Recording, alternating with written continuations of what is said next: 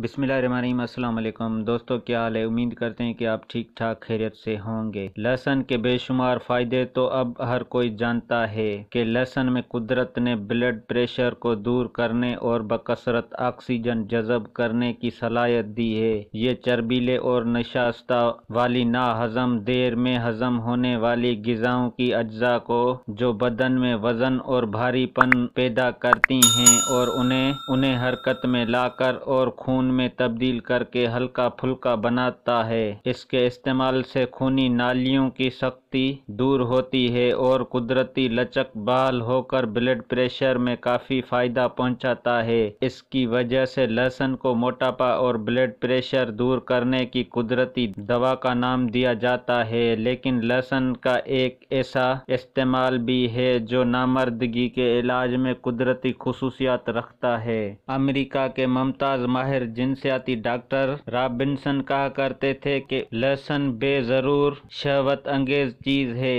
इस मर्ज का मुदावा है जिसके लिए मर्द कीमियावी अद्वियात इस्तेमाल करके अपने गुजू की कारकर्दगी तबाह कर देते हैं। उनका कहना था कि अगर लहसुन को शहद के साथ खाया जाए तो इससे कुदरती तौर पर जिनसी तहरीक पैदा होती है। ऐसे हज़रत मर्दमी अफाकिया और कुत चाहते हों। उन्हें रोज़ाना लहसुन को शहद या गर्म दूध के साथ इस्तेमाल करना चाहिए या फिर लहसुन का जोशानदा बनाकर इसमें शहद मिलाकर पिया करें। इस कहवे के लिए लहसुन के तीन जुए पानी में खूब उबाल कर बद अजा उनमें एक चम्मच बड़ा शहद खालिश घोल कर रोज़ाना रात को सोने से पहले पी लेना चाहिए। यूरोपी ममालिक में गार्लिक से एक सौगात भी तैयार होती है जो बहुत आसान है। शहद के मर्तबान में लहसुन के जुए रख कर उसमें शहद को गाय गाय एक चम्मच खाते रहने से भी मर्दाना कुत को जवाल नहीं आता। इस गज़ाओं को मर्दों का मशरूब भी कहा जाता है। दोस्तों, हमारी वीडियो अच्छी लगी हो तो लाइक और शेयर करें। शुक्रिया। अल्लाह हाफिज़।